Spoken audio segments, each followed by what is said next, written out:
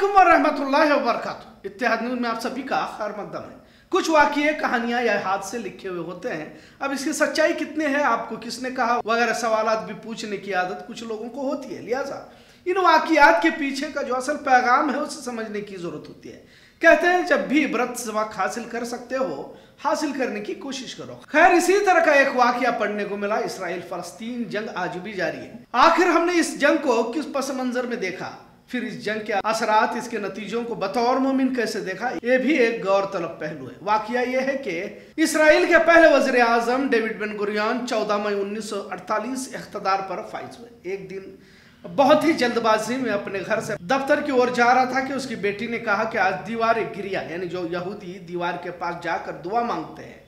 हमने अक्सर देखा है। यहूदी उस दीवार के पास जाकर दुआ मांगने की तस्वीर और वीडियोस आपने अक्सर देखा होगा। और ख़ासकर साल में एक मरतबा कसीर तादाद में मौजूद रहते हैं। बेटी ने वालिद डेविड बिन गुरियान से कहा, इसराइल के पहले वज़ीर आज़म ने पलट कर बेटी को कहा, नहीं बेटी, बहुत ही अहम काम है, दफ्तर जाना है और रियासत के बहुत अहम फैसले लेना है। फिर बेटी ने कहा कि, क्या दीवार गिरिया के पास दुआ मांगने से भी अहम है? तो उस पर जो जवाब डेविड बिन गुरियान ने दिया दुनिया के मुसलमानों को सोचने पर मजबूर कर देने वाला है। उसने कहा कि अगर हर बात दुआओं से ही होती तो दुनिया के तमाम मुसलमान हर साल लाखों की तादाद में जमा होते हैं और इसराइल पर बदुआ करते हैं। पर मुस्लिम कौम अमल से दूर है। लिहाजा नतीजा यह है कि इतना मुख्तसर सा इसराइल इन पर भारी है। ऐसा है जिसमें किसी तरह का मौलवी है, ना तावीज पलित है, ना ही किसी तरह के मसलक जमाते हैं। इसके बावजूद यहूदी रियासतें तरक्की की तमाम राहों पर गामजन है।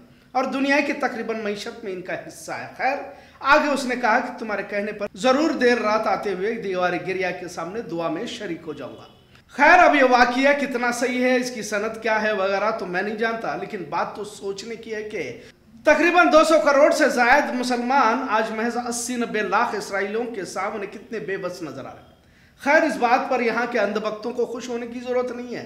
क्योंकि जो भी मुल्क बजाय ताकतवर नज़र आता है उस तरफ़ यहाँ के गोबर भक्त हो जाते हैं। भले इनकी कितनी भी बेइज्जती हो बात भक्तों की तरफ़ मोड़ना नहीं है, असल मौजू की तरफ़ बढ़ते हैं। असल मौजू यह है कि 200 करोड़ मुसलमान आज इसराइल का इंतज़ाम नहीं कर सकते। आज फलस्तीन के लिए दुआएँ हो रही हैं। इससे पहले भी हमने म्यांमार के लिए की थी, सद्दाम हुसैन के लिए की थी, कभी इराक के लिए मतलब जो करना है उस अमल से तो खाली है, मेरे दुआओं का एहतमाम ही हमने सबसे आसान रास्ता इख्तियार किया हुआ है। यकीनन मोमिन के लिए दुआ सबसे बड़ा हथियार है। दुआएँ बद्र में भी की गई। उहद हुनैन, एजाब, बनु कुरैजा, जंग खैबर, जंग मक्का, जंग तबूक, जंग करबला तक सभी में दुआएँ की गई। और दुआओं के बगैर कोई जंग जीत भी नहीं सकते। लेकिन दुआओं का असर तब होता है जब आप मैदान में उतर जाते हैं। महज लाखों का मजमा जमा कर दुआओं का एहतमाम कर घर लौटने वाले कभी जंगे जीत लिया नहीं करते, वरना तो फिर इतनी सारी जंगों की ज़रूरत ही क्या थी?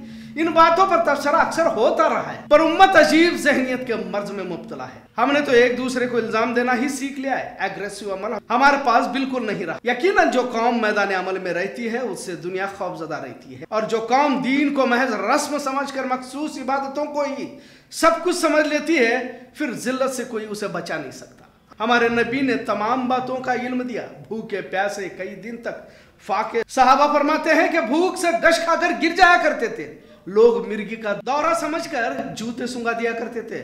खुदा की कसम, कई दिनों तक पेट में अनाज के कुछ दाने भी मयसर नहीं हुआ करते थे। लेकिन जब इन्हीं भूखे लोगों ने पेट पर पत्थर बांधने वालों ने घोड़े की पीठ पर बैठकर, यलगार कही तो कैसर और किसरा के ताज के कदम में आकर गिरे। किन कुर्बानियों से दीन हम तक पहुँचा है, इसका जर्रा बराबर में एहसास हमें आज नहीं है। दुआओं को ही हमने सब कुछ समझ लिया है। कुर्बानी देने के लिए कोई तैयार नहीं, बिल्कुल बेहिस हो गए इसराइली चीज़ों को खरीद कर उन्हीं के बनाए कोल्ड ड्रिंक पी कर, और वो भी हज उमरा जैसे मुकद्दस अमल के दौरान भी यहूदी चीज़ों को खरीदने से बाज नहीं आता। और वैसे भी हमने दुआओं को ही पकड़ लिया है। कभी अपनी कमाई पर भी तो तवज्जो देते। अलामा इकबाल ने कहा है तायर लाहूती उस रिस्क से मौत अच्छी।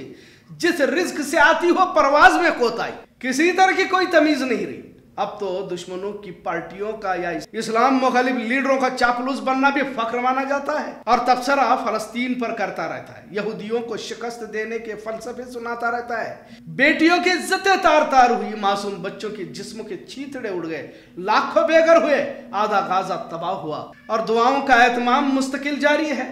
तना फलस्तीन लड़ रहा है। बाकी इस्लामी मुल्क तो महज आगे बढ़ो, हम पीछे हैं की तरह देखा जा रहा है। और मुसलमान दुआओं में मसरूफ है। अल्लाह के रसूल सल्लल्लाहु अलैहि वसल्लम से बढ़कर हमारे सामने कोई नहीं आका से बहादुर कोई नहीं, लेकिन पता नहीं हमने कौन सा इस्लाम इख्तियार किया हुआ है। नबी की सीरत से ज़्यादा दिगर किताबों का जायजा ही लेने में या दिगर शख्सियतों का तस्करा करने कोई असल दीन समझ बैठे हैं। सिर्फ़ आकाए मदनी की ज़िंदगी का कोई भी पहलू उठाकर देख लो। किस तरह की उम्मत रहते कयामत तक छोड़ गए हमारे आका। और हम क्या हुए हैं?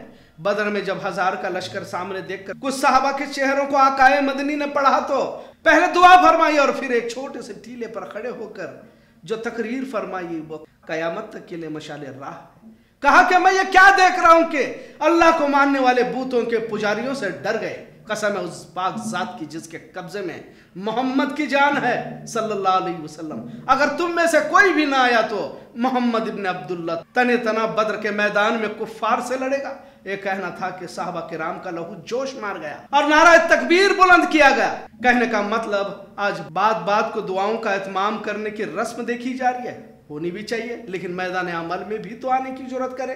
खालिद बिन वलीद, सुल्तान सलाउद्दीन अयूबी अपने घर में पैदा नहीं करना चाहते, दूसरों से उम्मीद ज़रूर करते हैं। भले सब कुछ लुट जाए, लेकिन हम किसी तरह का रिस्क नहीं उठाएँगे। अब तो वैसे भी मुसलमानों के पास दौलत आ चुकी है, फिर करोड़ों की दौलत कमाई है। खाम खाम मुकदमे, जेल क्यों जाना है? फिर आसान तरीका तो दुआ का ही रहेगा। चलो सब मिलकर दुआ करते हैं, इसी से की पूरी मिल्लत बनती जा रही है, और आने वाली नस्ल को भी यही सबक हम सिखा रहे हैं। दुआ और अमल एक दूसरे के साथ चलते रहते हैं।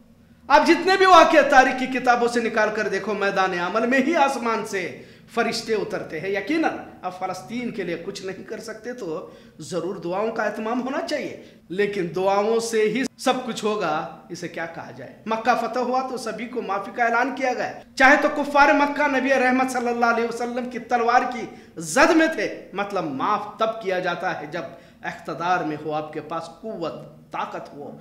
आज जिल्लत की इंतहा से मिल्लत गुजर रही है और कुछ लोग बातिल ताकतों से लड़ने की बजाय दुआ अखलाक से फतह हासिल करने की बात करते हैं। जब जन्नत का रास्ता बद्र के मैदान से ही गुजरता है तो उसी रास्ते से फला कामयाबी हासिल हो सकती है। भले हम अपनी सहूलत के हिसाब से कितना ही सबीले, कितने ही प्लानिंग बनाते रहे, कितने ही बहाने बनाए जाए, कितने ही दलीलें पेश करते रहे बेच कर तलवारें खरीद लिए, मुसल्ले हमने।